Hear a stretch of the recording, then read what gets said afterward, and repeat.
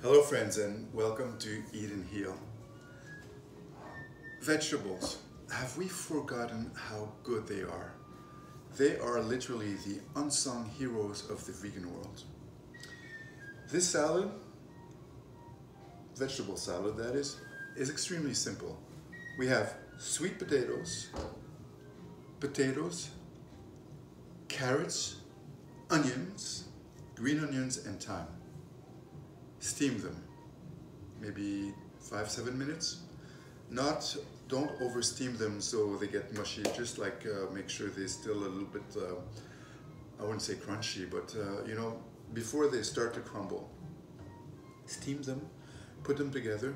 The secret is that the onion, when chopped finely, especially the red onions, seems to have like a, uh, almost a gooey kind of uh, uh, substance that is going to make a great like emollient that's going to be almost like a salad dressing. So you can have this completely oil free just season it with salt and pepper.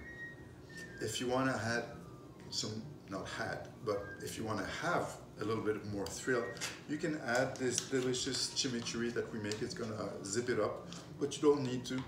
This can be very delicious just on its own try this at home since you're home.